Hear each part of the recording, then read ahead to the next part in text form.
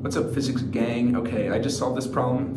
It took me like 14 minutes just to realize that I mixed up my cosine and sine. So we're gonna do it again. Okay, so let's get started. So we're kicking a Canadian football. I don't really know much about Canadian football, but basically we're trying to get it over this field goal and we have two parts of this question. First part's really easy, let's get it out of the way. It wants to know what's the minimum angle that we have to kick it, even like regarding of like how fast we kick it, to get it over the angle. Uh, so basically it's saying like if you kick a ball with infinite speed, what's the what's the angle that you have to do to get it over that bar? So it's simply just going to be the the, uh, the hypotenuse basically, because if you kicked a ball like really really fast, you go in a straight line. So you just have to know what that you know the straight line angle is. So all that's going to take is a little bit of sine cosine tangent. So we know that tangent theta is equal to 10 over 36, right? Opposite over adjacent. Then we can take the inverse tangent, so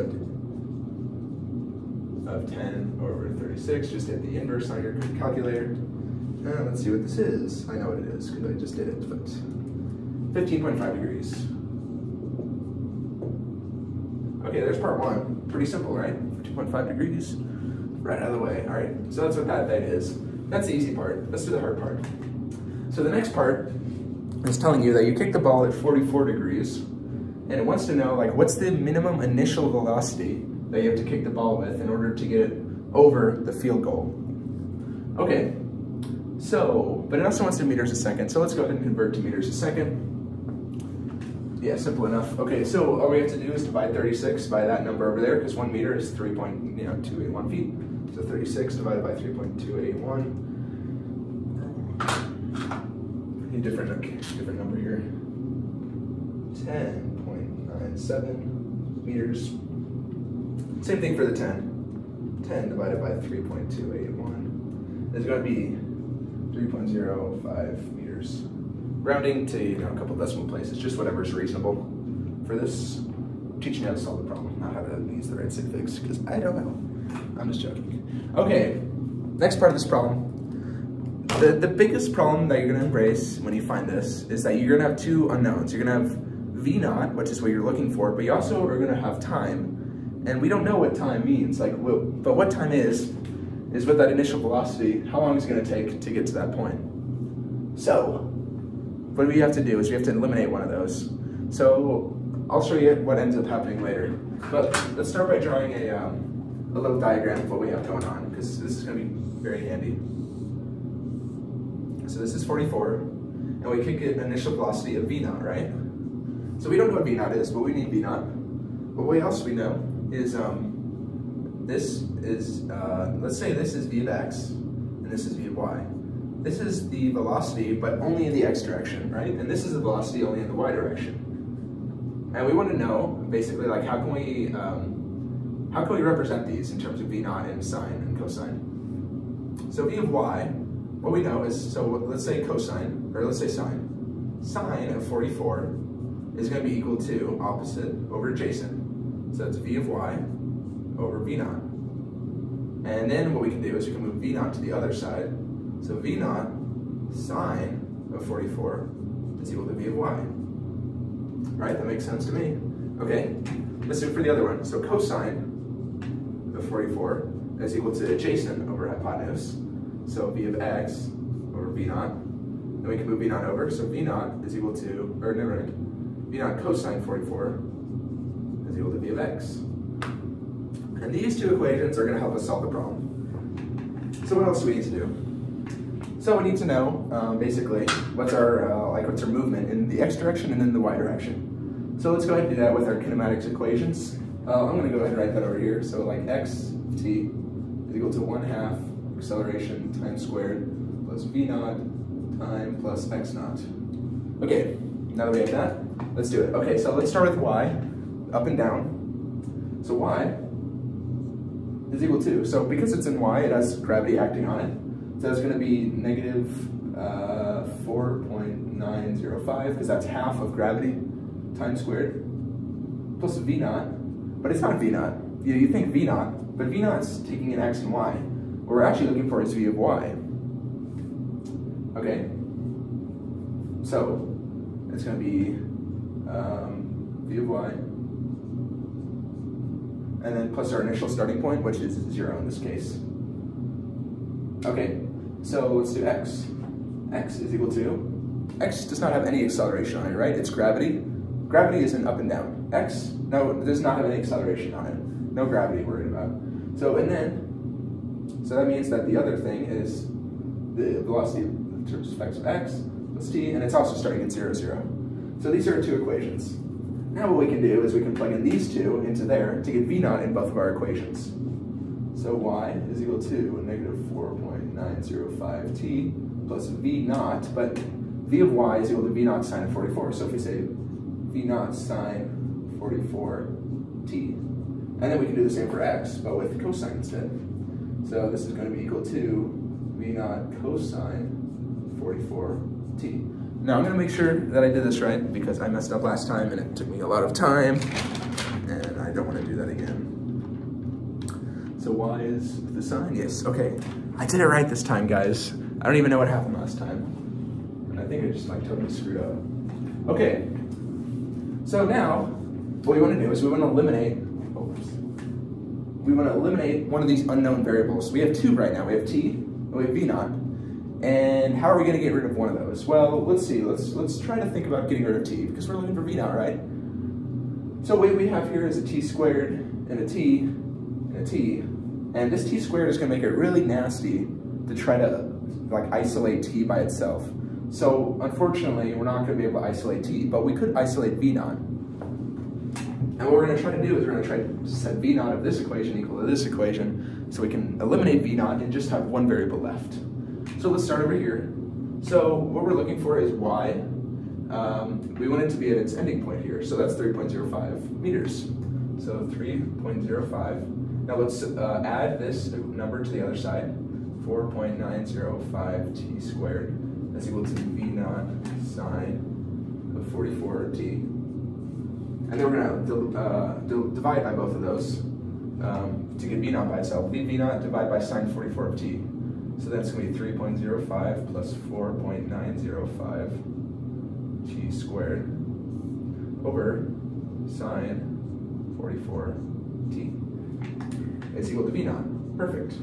Now if we go over here, we can do the same thing, divide by cosine 44t, um, and we're going to get, uh, but we also know what x, we want x to be 10.97 meters.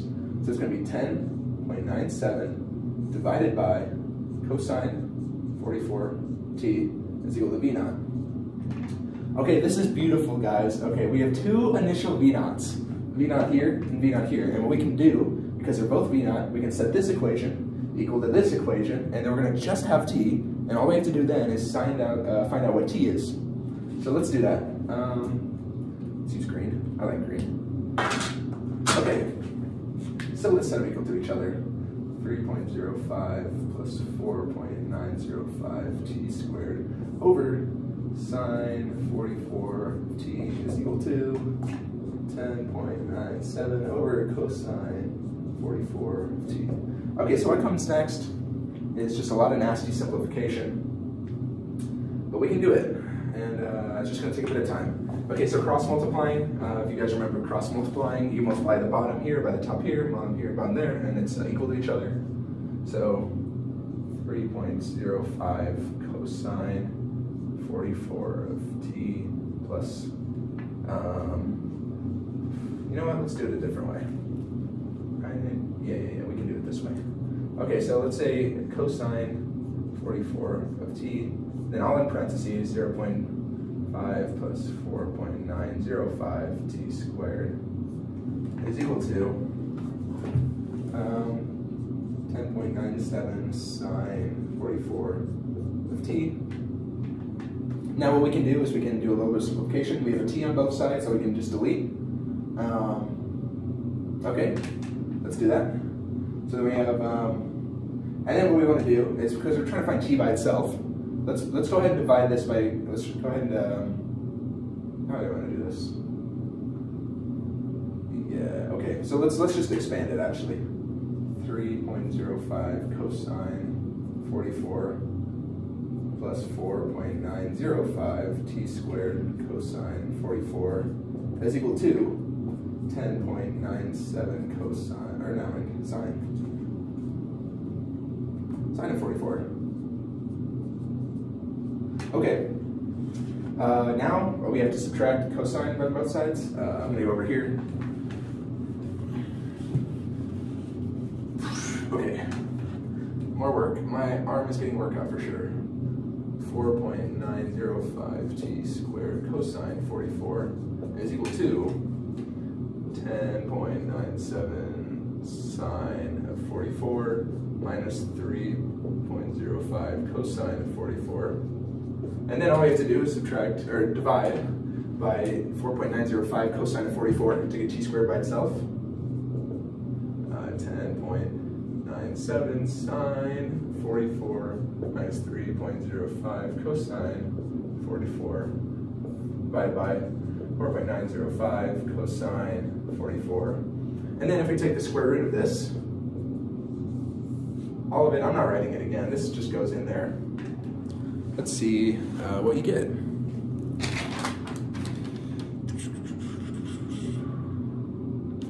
Um, uh, yep, that makes sense.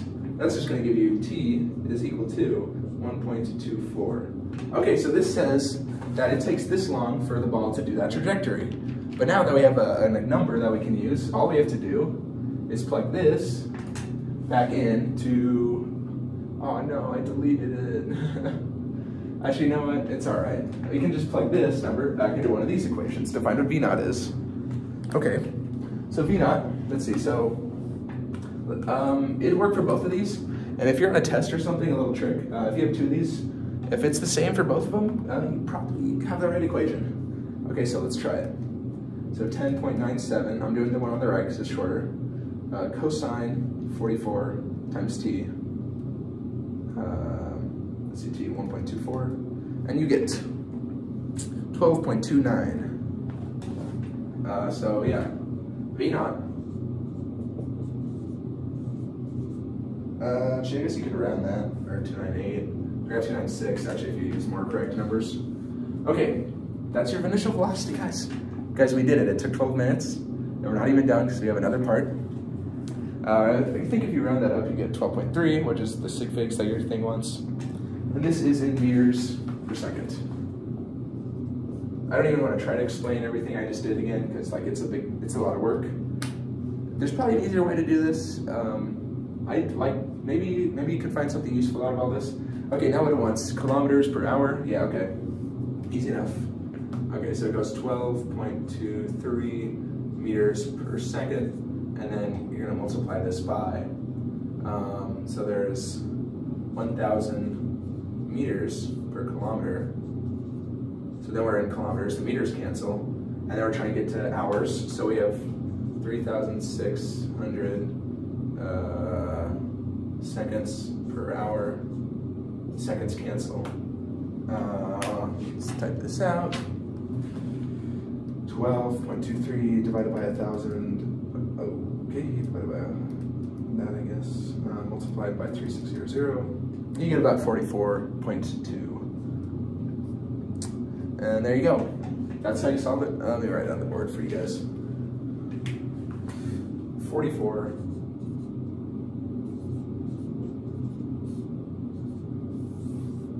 There you go.